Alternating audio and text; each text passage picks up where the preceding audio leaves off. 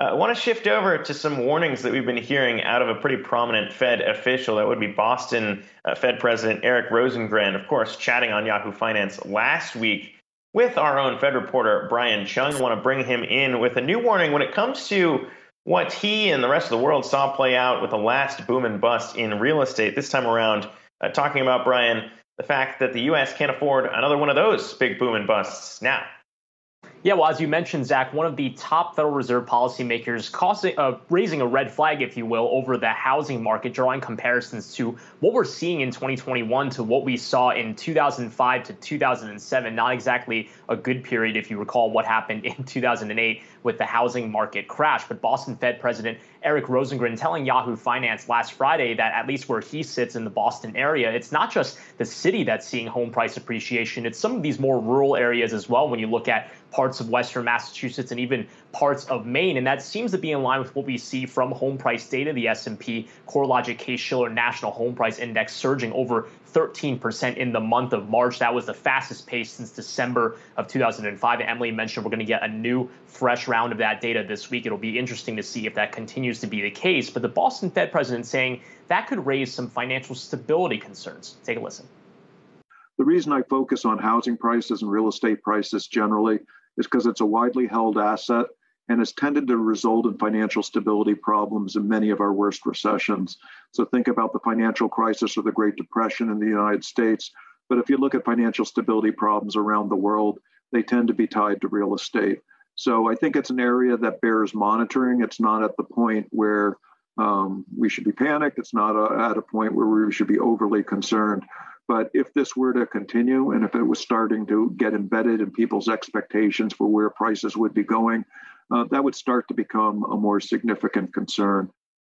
So you can hear the Boston Fed president right there saying, don't necessarily panic, but at least at the Federal Reserve, they are keeping an eye on that, or at least they are in Boston. Now, one elephant in the room is that the reason for the run up in home prices is because the Federal Reserve has been lowering interest rates. It's pinned short term borrowing costs at near zero. 30 year mortgage rates have, as a result, also been depressed, which leads to a lot of that home frenzy. And then, of course, there's the Fed's purchases of mortgage backed securities. It's buying about $40 billion a month. And the Boston Fed president saying that when the Fed at some point decides to start slowing those asset purchases, maybe they should be slowing those purchases at the same amount as their U.S. treasuries, which hopefully would bring an end to that buying program before the U.S. Uh, treasury purchases. So, very interesting to watch in the months ahead, guys.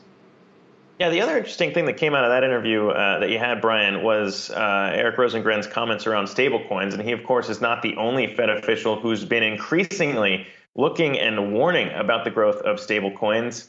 It made me spend my weekend looking in at it after that interview. Uh, I mean, what are we hearing from the Fed and what has them so concerned and why they keep talking about these things?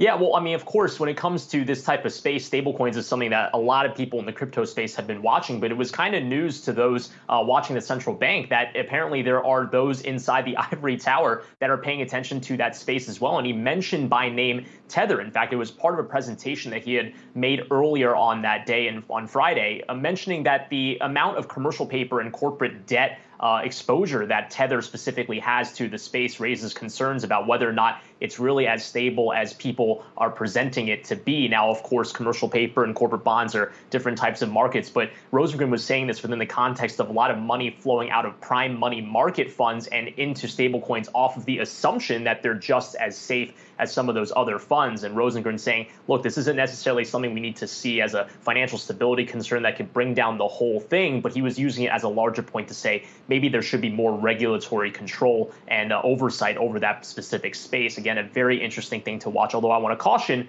Rosengren is not a policymaker in D.C., so it was more him advocating his personal views than, say, a federal stance on this. But definitely, they're worth watching in that space, guys. Yeah, and then you got uh, New York Fed President or federal, yeah, New York Fed President John Williams coming out today uh, and talking about digital currencies, central bank uh, digital currencies, and the questions around that too. And of course, that does seem to be where things are going. So the stablecoin issue may be a short-term one. We'll see how it plays out in the long term. But Brian Cheung, appreciate that.